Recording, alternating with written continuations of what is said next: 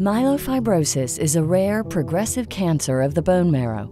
The pathogenesis involves abnormally functioning hematopoietic stem cells, HSCs, which often exhibit mutations in components of the JAK-STAT signaling pathway.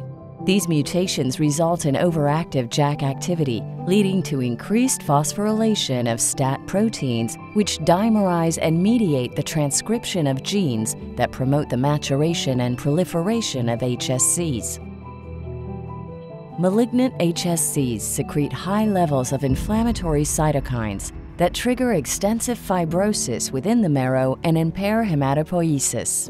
Reduced hematopoietic capacity in the bone marrow leads to compensatory extramedullary hematopoiesis in the spleen and other organs, which can lead to splenomegaly with associated pain, abdominal distension, and early satiety.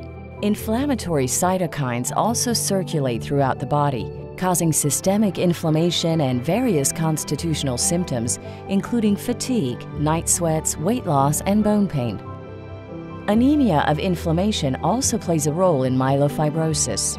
Systemic inflammation can upregulate the expression of BMP class ligands, which bind and activate the ACVR1 or ALK2 receptor complex on the surface of hepatocytes.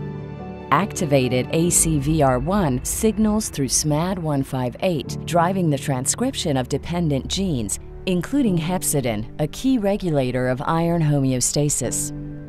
Iron ions, secreted by cells like macrophages, are vital to the erythropoietic processes that give rise to red blood cells, or erythrocytes, within the bone marrow.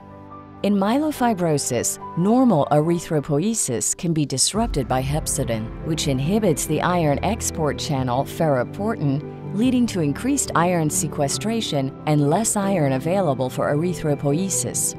This results in an iron-restricted anemia of inflammation and consequent transfusion dependency, both of which currently represent major unmet needs in myelofibrosis therapy.